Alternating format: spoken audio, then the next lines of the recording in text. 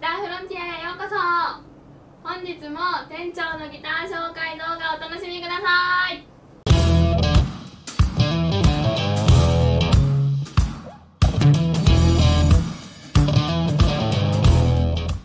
はいそういったわけでございましてギターフロンティアへようこそ。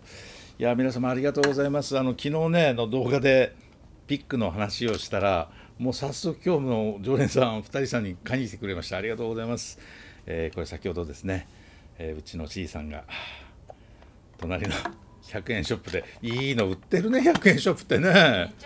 めちゃくちゃいいですよ。ちょうどいいじゃんこれ、えーそういうわけでこのハードがね、えー1ミリ。でミディアムが0.8で用意しております。各200枚だっけ？そうですね。200ずつ。合計400しか作ってないんですけどもお早め。これ全部まだあるんですよねまだあります。まだあるよね。はい。一つよろしくお願いします。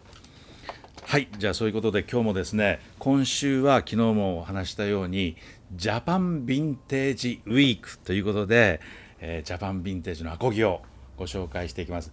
早速昨日のねあの山木ももう即売れましてありがとうございます。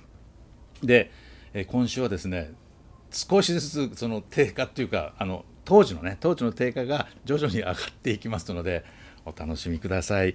昨日の山木は当時の定価が2万円というギターだったんですけども今日はそれより当時の定価が5000円上がりまして2万5000円です当時の。でねこれキャッツアイですね。皆様大好きキャッツアイ。これ実は結構貴重なんです。75年から77年の初期型初期ロゴってやつなんです。カメラこれあのあできる？これあのマニアの方知ってますよね？この全部大文字。でよく見るとこのちょっとギザギザみたいな書体になってるのね。キャッツアイの CE250 珍しい初期ロゴ。わずか2年しかこのロゴは使ってないんですよね。77年から後期から、えーちょっと小文字になるのかな確かね。でね昨日もそうだったんですけどまあ言うたら当時2万5千円じゃないですか。そんな高級ではないんですけども。まあいい音するんだわね。まあそうやってももう結構年数経ってますからところどころちょっと小傷というかございますので細かいところはこちらのカメラでチェックしてください。はいそれでは細かいところを見ていきましょう。まずボディトップなんですけども、えー全体的にはまあまあ綺麗なんですね。えーピックガードもねそんなにこの擦り傷っていうのはないんで。まあまあ綺麗ですけどこの下の方。これちょっとシミっぽくなってるとかね。これ傷ではないんですよね。こんな感じね。なんだろうこれシミっぽくなってるやつね。これ木の模様ともなんだかなんでしょうかね。さあそしてこちら。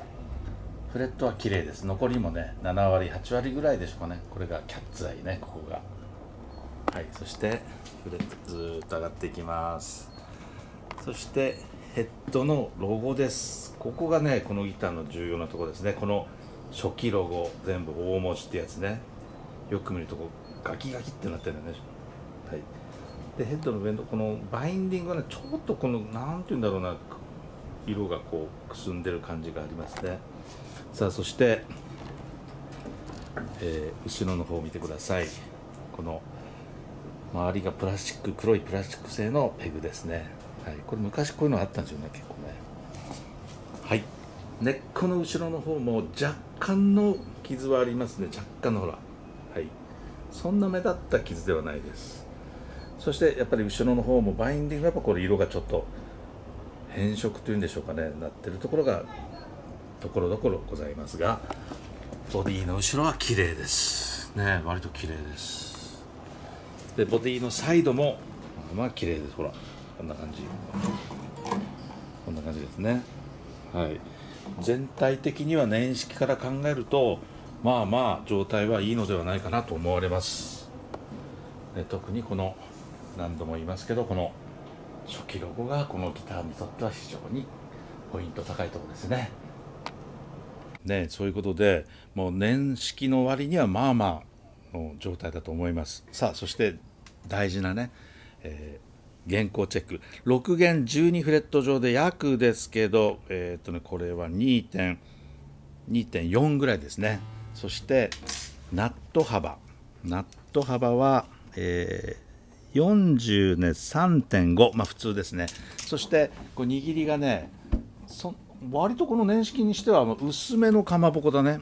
そんな厚くない。こんな感じです。割と薄めの当時にしてはよ。当時にしては薄めのかまぼこだと思います。さあ、えー、本当にねこれ言っとくねめっちゃいい。じゃあ聞いて。聞いて。あ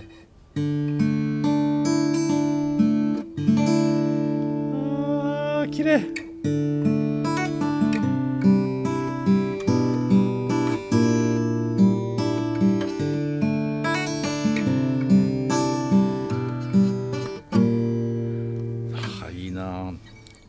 サウンドホールの上で弾きます。サ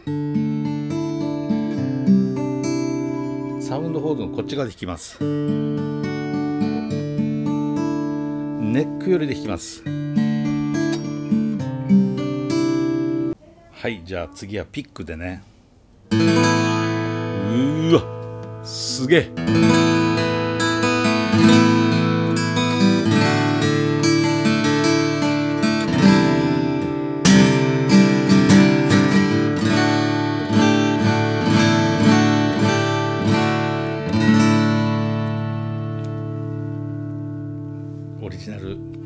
ピックで弾いちゃうぞ。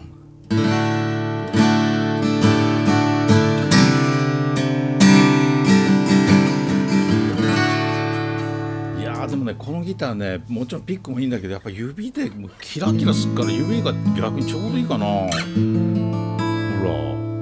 もういいなこの、まあ、久しぶりにこれ弾こう。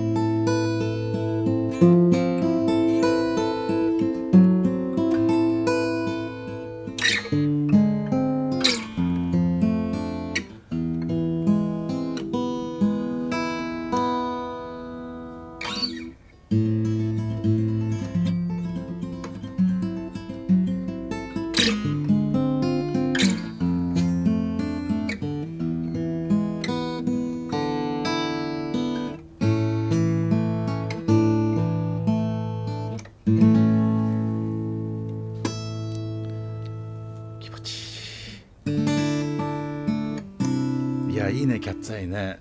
そして何度も言います。